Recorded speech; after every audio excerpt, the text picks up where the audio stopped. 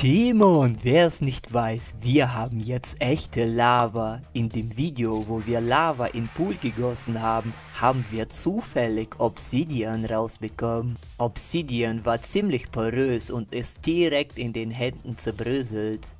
Im nächsten Experiment haben wir Lava auf einen Eisblock gegossen. In diesem Fall haben wir ziemlich festen Obsidian rausbekommen. Das lag wahrscheinlich an der Kälte. Die Blasen, die rausgekommen sind, haben uns an Weihnachtskugeln erinnert. Obsidian war ziemlich stabil.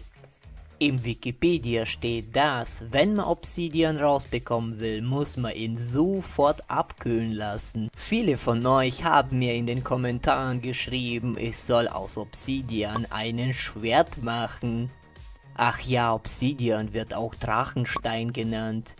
Bevor wir mit unserem Experiment anfangen, wollen wir was testen. Wir wollen flüssige Lava in flüssigen Stickstoff gießen. Was wird passieren?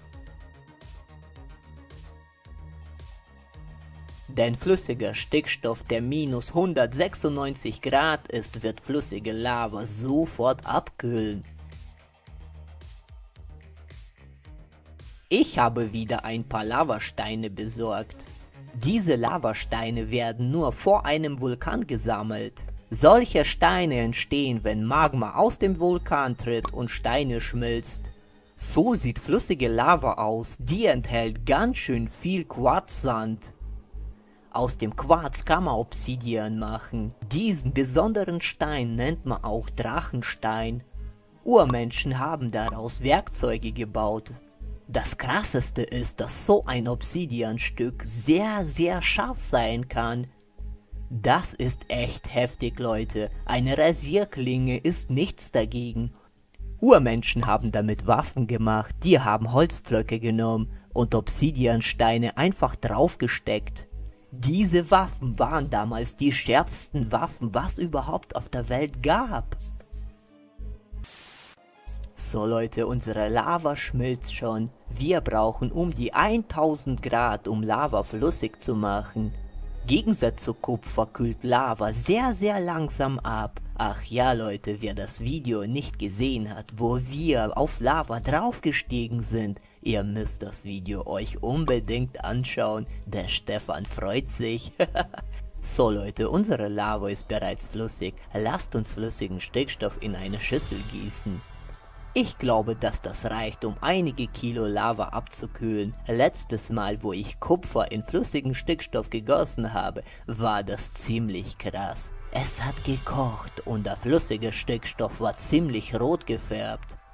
Ich hoffe, dass ich dieses Mal ein wirkliches, echtes Obsidian rausbekomme,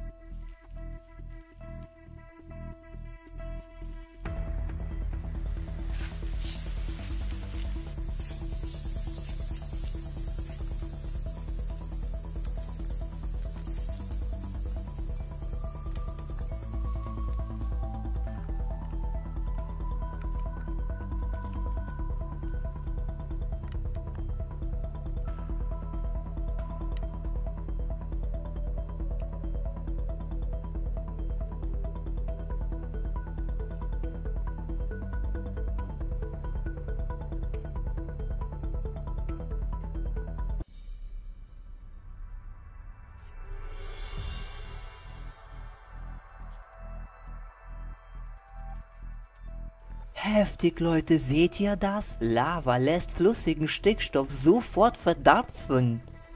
Wir geben noch ein wenig flüssigen Stickstoff dazu, damit das Holzbrett unten nicht zum Brennen anfängt. Lava ist dieses Mal wirklich sehr, sehr heiß. Wie man sieht, der Obsidian, der draußen war, ist sofort zerbrochen und dem flüssigen Stickstoff ist er noch ganz. Ich hoffe, dass der ziemlich stabil bleibt.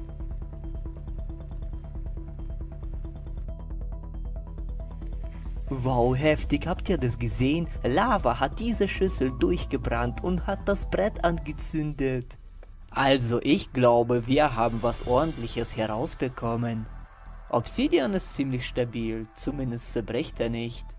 Innen ist er noch richtig heiß, von außen ist er bereits gefroren.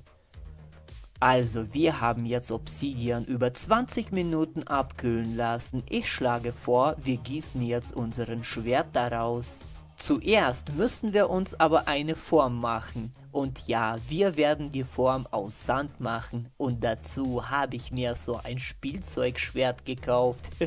Also so eine Form haben wir jetzt herausbekommen. Wir werden jetzt unseren Schwert da reinlegen und eindrücken. Also das sieht gar nicht so schlecht aus. Jetzt müssen wir die Ränder abrunden. Jetzt brennen wir den Sand ab, damit er nicht am Obsidian kleben bleibt. Also Leute, wir werden jetzt Lava einschmelzen. In meinem Gefäß, wo eigentlich 10 Kilo Kupfer Platz haben, passen nur zwei so große Stücke Lava. Also Leute, lasst uns anfangen und ihr könnt jetzt abstimmen. Wenn ihr meint, dass wir es schaffen, ein Schwert zu gießen, dann schreibt mir in die Kommentare Hashtag Schwert. Und wenn ihr meint, dass es nicht funktioniert, dann schreibt mir in die Kommentare Hashtag nicht. Aber macht das ehrlich, Leute, schaut bitte nicht nach.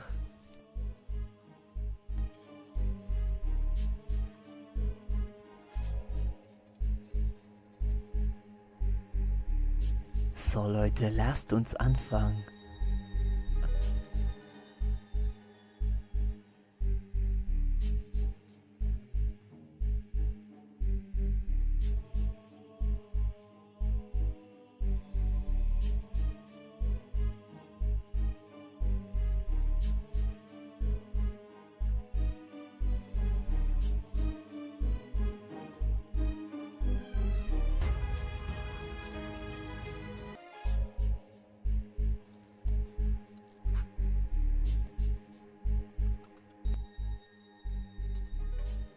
Lava ist ziemlich unstabil, aber unser Schwert schaut eigenermaßen nach ein Schwert aus.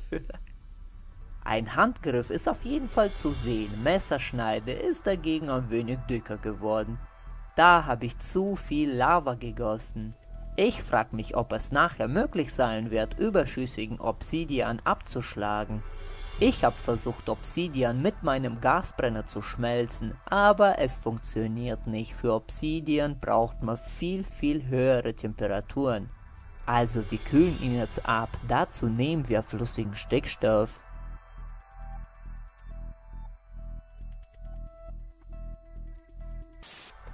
Wir gießen bereits schon die zweite Schüssel, aber unser Schwert ist immer noch sehr sehr heiß. Innen drin leuchtet er sogar leicht rot. Also wir kühlen ihn ab und machen ihn damit ziemlich fest. Ich will ihn nämlich nachhinein spitzen. Also Leute, es sind bereits 10 Minuten vergangen und wir haben vier Schüsseln flüssigen Stickstoff draufgegossen. Aber wir haben ein Problem, ein Stück von dem Griff ist leider abgebrochen. Also wir heben ihn vorsichtig hoch. Eigentlich ist er schon stabil, aber das Schwert ist wirklich heiß, Leute. Flüssiger Stickstoff hat sogar Sand eingefroren und Lava konnte er aber noch nicht abkühlen. Ach ja, Leute, ich glaube, das wird nicht funktionieren. Obsidian kühlt sehr, sehr langsam ab und zerbricht dabei. Schaut, was ich rausbekommen habe. Aus dem Riesenschwert ist so ein kleines rausgekommen. Er ist immer noch richtig, richtig heiß, Leute. Man spürt das durch die Handschuhe. Wir sind zwar schon zufrieden, dass der nicht in den Händen zerbricht, aber es ist immer noch keine Lösung. Ich habe leider keinen flüssigen Stickstoff mehr gehabt. Vielleicht brauche ich mehr flüssigen Stickstoff. Oder wir kühlen Obsidian irgendwie anders ab. Wer weiß es, Leute? Schreibt mir in die Kommentare.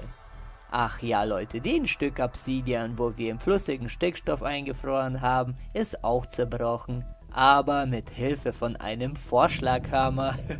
Ach ja Leute, ich hoffe das Video hat euch trotzdem gefallen. Unterstützt mich mit einem Like und ich sag's euch, wenn wir 5000 Likes sammeln, dann werde ich einen Schwert aus glühendem Kupfer gießen. Schreibt mir in die Kommentare, welches Essen ich auf Lava zubereiten soll. Die besten Kommentare kommen in das nächste Video. Teilt das Video mit euren Freunden, abonniert meinen Kanal, um kein Video zu verpassen. Und bis bald!